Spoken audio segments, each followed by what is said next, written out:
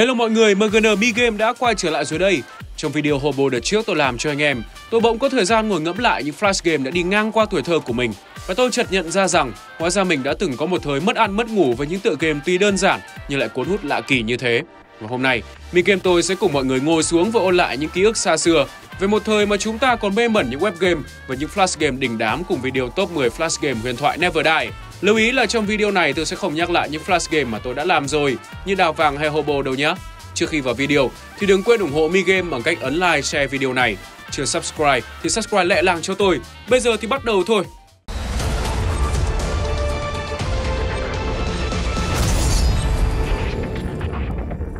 Monkey Go Happy, chú khỉ buồn.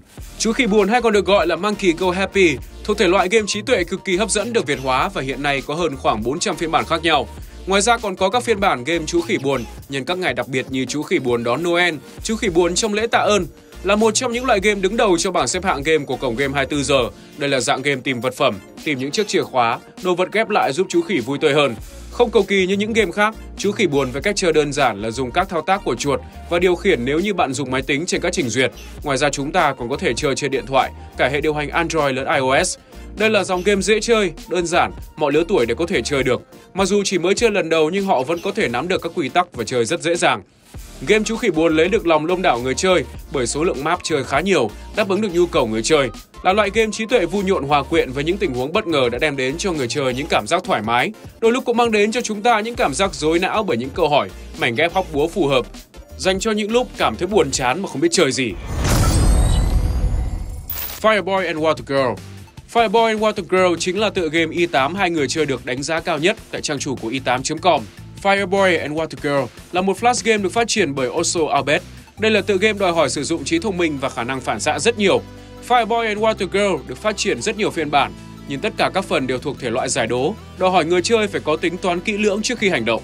Fireboy and Water Girl Forest Temple có sự đa dạng về số màn chơi rất lớn. Người chơi phải tốn kha khá thời gian và công sức để có thể vượt qua tất cả các màn của game. Mỗi người chơi sẽ tương ứng với một màu sắc. Người chơi sẽ sử dụng các phím di chuyển để vượt qua các chướng ngại vật và thu thập cho mình các viên kim cương cùng màu sắc. Tuy nhiên, cô bé nước Water Girl sẽ không thể chạm vào lửa, còn cậu bé lửa Fireboy sẽ không thể đụng vào nước. Khi một trong hai nhân vật chết, màn chơi sẽ khởi động lại. Fireboy and Water Girl tuy là một flash game, tuy nhiên lại là một series game trí tuệ khá hay khi người chơi phải có sự phối hợp đồng đội một cách nhịp nhàng để có thể giải được những câu đố được đưa ra trong game và thu thập được những kim cương. Đây cũng là một trong những tựa game được Mi Fan yêu cầu Mi Game hãy phân tích cốt truyện nhiều nhất mà tôi đã cho tựa game này vào danh sách này rồi, tức là tôi sẽ chẳng làm một video riêng đâu, nên anh em đừng ngóng trông nữa nhé. Còn liệu tôi có đổi ý không à? Không biết nữa, anh em đoán thử xem.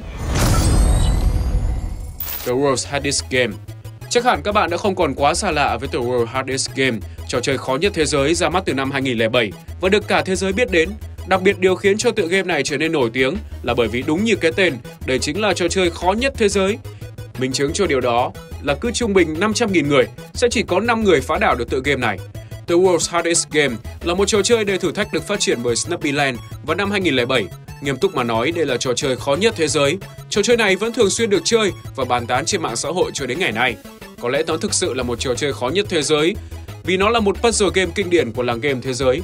Luật chơi rất đơn giản, bạn điều khiển một chấm tròn đỏ di chuyển trong màn chơi để ăn hết các chấm vàng và trở về địa điểm yêu cầu. Trong mỗi màn chơi, có những chấm xanh di chuyển theo nhiều cách khác nhau. Nhằm ngăn cản người chơi hoàn thành nhiệm vụ, game có tổng cộng 25 màn chơi với nhiều thách thức khác nhau.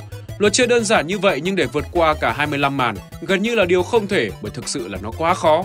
Các viên bi xanh di chuyển một cách chậm rãi nhưng theo những cách rất phức tạp và đa dạng.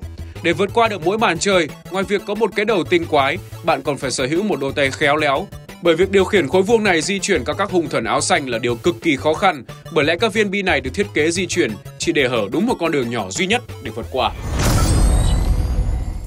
Bartender, The Right Mix bạn muốn trở thành một bartender chuyên nghiệp với khả năng pha chế rượu thân sâu. Bạn muốn mình trông thật hào nhoáng như những người bartender trong các quầy bar, pub, với đôi bàn tay lắc rượu siêu điêu luyện trong bộ suit không một nếp nhăn, cùng mái tóc vuốt kèo bóng bẩy Tuy nhiên, giá để có thể học tập để trở thành một anh pha chế trong mơ hoàn toàn không rẻ cho những người chỉ muốn cho mình ngầu ngầu như anh bartender mà họ hay thấy trên mạng. Nếu vậy thì bạn có thể tìm hiểu trước nghề bartender bằng tựa game Bartender The Right Mix hay chúng ta thường được biết tới với cái tên là game pha chế cocktail, game pha rượu.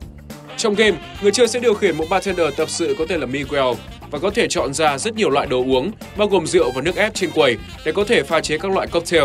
Vì chỉ là một bartender tập sự nên Miguel chỉ có thể tự mix và tự nếm đồ của mình pha ra. Và điều làm con game này trở nên thú vị chính là phản ứng của Miguel khi nếm phải những sản phẩm do chính mình làm ra. Đôi khi anh ta sẽ khạc ra lửa, đôi khi sẽ tắt thở rồi xỉu cái đùng, hoặc có khi anh ta sẽ thả nguyên một quả tạ 16 tấn chỉ vì nếm phải một thứ phế phẩm dở tới mức anh ta muốn kết liễu cuộc đời. Đây là một tựa game nhẹ nhàng dành cho những ngày nhàn rỗi. Anh em nào muốn tìm hiểu qua về nghề bartender có thể chờ sơ trước qua tựa game này nhé. PC Breakdown Tôi cá là anh em nào cũng đã trải qua cái cảm giác mà con PC của mình tại sao lại phế vật như vậy. Nhiều lúc đang trong giai đoạn quan trọng mà bỗng dưng PC của mình lại đứng, treo, sập thì tôi nghĩ rằng phải 100% anh em đều muốn đập cho bỏ tức. Mà đâu có anh em nào dám đập đâu, vì đập thì còn cái gì đâu mà xài, cũng chẳng có tiền mà mua PC mới. Nhưng sẽ có một tựa game có thể giúp anh em làm điều đó, đó chính là PC Breakdown.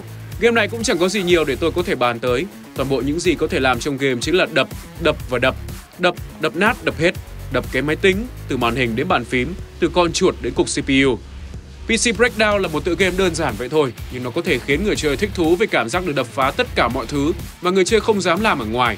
Điều này giúp cho người chơi xả hết những tức tối, bực dọc và áp lực của mình, mà đôi khi nguyên nhân chính có lẽ là chính ở con PC phế vật của chính người chơi. Fortress Game, ghét nhau ném đá. Có một số tựa game đôi khi nó đã trôi vào miền quên lãng của nhiều anh em game thủ, nhưng chỉ cần nhắc lại thôi thì tôi cá là sẽ rất nhiều anh em đều nhận ra đây chính là tựa game mà mình từng một thời mê đắm và kể quốc Và một trong số đó chính là Fortress Game, hay tên tiếng Việt quen thuộc hơn là ghét nhau ném đá. Tựa game xoay quanh về hai cô cậu hàng xóm luôn gây hấn và cắn xé nhau tới mức ném nhau sứt đầu mẻ chán bằng đủ thứ vũ khí, bằng đá, dép, thậm chí cả động vật như gà, chó cho đến khi một trong hai đầu hàng mới thôi. Điểm đặc biệt khiến ghét nhau ném đá được ưa chuộng bởi lứa trẻ 9X ngày đó chính là việc tựa game này có chế độ chơi hai người. Bởi thời ấy máy tính thì ít, smartphone thì làm gì đã được đẻ ra. Cái cảnh mà một người chơi rồi một đống người đứng xem là chuyện diễn ra thường ngày. Chế độ hai người chơi giúp cho nhiều người được chơi hơn, cũng khiến tựa game vui hơn. Gameplay của trò chơi này rất thân thuộc và dễ nghiện khi mà việc quan trọng nhất trong game ghét nhau ném đá chính là căn góc làm sao cho thật chuẩn rồi ném trúng đối phương. Đường bay của vũ khí sẽ phụ thuộc vào góc, lực ném và cả hướng gió. Vũ khí rơi trúng đầu sẽ có sát thương cao hơn khi rơi trúng vào người. Vì vậy khi đã trở nên quen tay, người chơi nên sử dụng góc rộng để vũ khí có thể bay từ trên xuống và trúng vào đầu đối phương. Hồi đó anh em nào hay chơi game này thì chắc cũng sẽ tay to khi chơi game Gunny thôi. Nghe nhớ quá, thôi để xong video này, tôi mò về chơi lại thôi anh em ơi. Tower Blocks xây nhà Tower Blocks tựa game nổi tiếng về xây nhà cao tầng. Bạn sẽ là người điều khiển, sao cho việc sắp xếp các khối nhà sao cho hợp lý và đúng chỗ để xây dựng lên những ngôi nhà chọc trời, mang lại vẻ đẹp cảnh quan hoàn mỹ cho đô thị của bạn là tựa game thử thách tính kiên nhẫn và phản xạ của bạn, giúp bạn giải trí sau những giờ làm việc căng thẳng. Luật chơi trong Tower Blocks cũng khá đơn giản, thả các tầng của một tòa nhà theo một đường thẳng. Nếu lệch vị trí thì tòa nhà sẽ làm dung người làm người chơi càng khó khăn hơn trong việc xếp những tầng sau. Bạn sẽ trở thành một kiến trúc sư siêu nổi tiếng bằng cách sử dụng kiến thức tuyệt vời của mình về mặt vật lý để xây nên một tòa tháp bất chấp cấu trúc và gió mưa. Game xây nhà cao tầng Tower Blocks là một game offline được đánh giá là khá hay, thu hút nhiều người chơi với đồ họa đẹp, âm nhạc rộn ràng vui tươi, nội dung game hay hấp dẫn, đòi hỏi người chơi phải luyện tập nhiều phẩm chất như khéo léo, cẩn thận, kiên trì, tập trung. Bởi vì sao? Vì nếu mà bạn vô tình thả lệch một khối nhà thì rất có thể bạn sẽ phải tìm đến cái tựa game PC Breakdown ở phía trên để xả stress đấy. Rap Wars Ôi rồi lại một con game huyền thoại tuổi thơ khác với con tàu chiến có thể nói là còn chiến hơn cả chiếc tàu hải tặc Going Merry trong One Piece, đó chính là Rap Wars. Rap Wars là trò chơi được phát triển bởi Matai Kans, kể về cuộc hành trình chống lại những kẻ xấu xa của một em bé có tên là Simon và anh trai của cậu. Game có 15 level với nhiều kẻ thù cùng độ khó khác nhau. Game bắt đầu vào buổi chiều tại một bãi biển, nơi mà cậu bé Simon đang đào cát. Và rồi Simon khám phá ra một thứ mà sẽ vĩnh viễn thay đổi cuộc đời của cậu sau này. Đó chính là một kho báu đầy vàng và kim cương. Tin tức về một cậu bé đào được cả gia tài ngoài biển nhanh chóng được đưa lên những phương tiện truyền thông đại chúng. Đó cũng là lúc mà kẻ xấu nhòm ngó đến kho báu của Simon và Simon cùng anh trai phải ờm ra khơi để đánh bại những kẻ nào dám đến và giành kho báu của cậu. Gameplay của Rap Wars khá đơn giản và có phần giống với ghét nhau ném đá mà tôi đã nói ở trên. Người chơi sẽ phải đo lường khoảng cách mục tiêu và lựa chọn góc độ cũng như lực bắn để có thể hạ gục được kẻ địch. Age of War, cuộc chiến xuyên thế kỷ.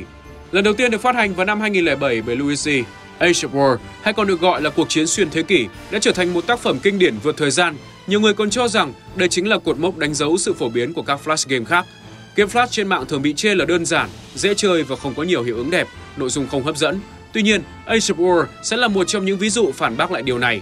Đồ họa đẹp, nội dung game có chiều sâu, nhạc nền cực hay và cũng hoàn toàn không dễ để bạn chiến thắng game này nếu chỉ chơi trong 5 lần đầu tiên. Đó là lý do tại sao Age of War là game được chơi nhiều nhất trong các địa chỉ cung cấp flash game trong game này, nó sẽ giao cho bạn nhiệm vụ phát triển thế giới của mình từ thời đồ đá nguyên thủy cho tới thời đại của du hành vũ trụ giữa một ngàn đợt tấn công vũ bão của kẻ thù. Nhiệm vụ của bạn là phải thiết lập hệ thống phòng thủ và đào tạo lính để chống trả các đợt gây hấn của kẻ thù. Một mẹo để chơi game thành công là bạn phải nhanh chóng xây dựng các hệ thống phòng vệ từ xa. Nếu thời đồ đá chúng chỉ là các máy bắn đá thì các thời sau nó sẽ là máy phóng lao, đại bắc, cũng súng laser. Bằng cách nhấn chọn biểu tượng rồi chọn vũ khí muốn dùng, vũ khí càng mắc tiền thì lại càng mạnh. Thời tiền sử, bạn có các chiến binh đổ đá với vũ khí thô sơ là giáo mác, ná và chiến binh cưỡi tê giác. Thời đại của các pharaoh, bạn có chiến binh pháp sư với khả năng ném lần quang từ xa. Các chiến binh khác trong thời pharaoh được thiết kế rất đẹp. Còn trong thời hiện đại, bạn có thể mua những chiến binh trang bị vũ khí chống tên lửa cầm tay, vũ khí bắn đạn liên thanh, xe tăng bọc thép và nhóm pháo hạng nặng chống tăng. Khi đã đủ level, bạn đến với thời của robot. Tại đây, bạn chế tạo các cỗ máy siêu hạng và người máy siêu mạnh với khả năng diệt xe tăng trong một tích tắc. Beer Catcher, hứng bia. À ơm, khúc này warning trước là mấy em nhỏ dưới 18 tuổi không nên co nhé. Có có co thì để ý, coi trường phụ huynh canh sau lưng nhá. Hồi xưa ấy, khi mà những tựa game như là Summertime Saga còn quá là xa xỉ và hiếm hoi thì để kiếm được một tựa game mà có thể thỏa mãn được cái tính dục của bọn con trai là khó vô cùng. Và rồi, bỗng trong cộng đồng những anh em tà dâm tuổi dậy thì bỗng lan truyền một bí kíp thất truyền, một tựa game mà có thể khiến ai luyện vào sẽ đánh thức được bản năng gốc của mình. Bí kíp đó mang tên hứng bia. Game này khá đơn giản thôi nhưng độ cuốn và khả năng chơi lại của con game này phải nói là cực kỳ cao. Vì sao ư? Vì chơi càng hay, càng được nhiều điểm thì càng có thưởng. Đầu tiên người chơi phải chọn một cô đảo hợp gu, sau đó bạn sẽ phải dê chuột qua lại để hứng được những chai bia đang rơi xuống vào trong sọt. Khi mà bạn hứng được những chai bia đến được những cột mốc quan trọng thì người chơi sẽ được thưởng một phần thưởng vô cùng ngon mắt, chính là một món đồ trên cơ thể người đẹp sẽ được cởi ra. Tùy vào khả năng hứng bia của người chơi mà bạn có thể cởi được người đẹp bấy nhiêu phần trăm. Trong thời đại bây giờ, khi mà vô số những game mang thiên hướng 18 cộng được phát hành thì có vẻ như hứng bia đã dần chìm vào quên lãng. Nhưng tôi chắc rằng các anh em sẽ không bao giờ quên được cái cảm giác mà nguyên một đám bạn cùng nhau chụm đầu lại và chăm chăm nhìn vào màn hình chỉ để trông chờ cô đào hứng bia lột từng món đồ cho tới mảnh vải cuối cùng. Ok, trên đây là top 10 flash game huyền thoại Never Die. Anh em thấy có hoài niệm về một tuổi thơ mỗi ngày lại mò vào web game để chơi những game này không ạ? Chứ tôi là tôi nhớ lắm rồi đấy. Sau video này tôi phải tìm cách chơi lại thôi. Bây giờ thì vào chuyên mục bạn hỏi mi game trả lời nhé. Ê, ông ăn cơm chó bao giờ chưa? Ăn hoài, ngày nào chả ăn hả ông? Gần Tết rồi, anh mi game chơi game gì ạ? Gần Tết bận làm video cho mấy ông coi Tết thời gian đâu mà chơi game ở ông? Nói chứ dạo này tôi chơi tốc chiến nhá. Mi game là người Bắc hay Nam vậy? Là người yêu em nhá. Wow, những video của anh thật là hay. Em chúc anh có nhiều thành công trong sự nghiệp. Mong rằng anh sẽ tạo thêm nhiều video phân tích game thú vị và còn chém nhiều hơn nữa. Ok, cảm ơn em nhiều nhá. Nếu như tôi bỏ thuốc ngủ vào cà phê thì nếu uống vào thì sẽ thức hay tỉnh vậy hả Mi Game? Ủa, thức và tỉnh khác gì nhau hả ông? Hôm nay tới đây thôi nhé. Đừng quên khung giờ 18 giờ thứ hai từ 6 mỗi tuần để đón chờ video mới của tụi mình. Vui vui thì lên thứ năm nữa. Bây giờ thì chào tạm biệt và hẹn gặp lại mấy ông những video tiếp theo.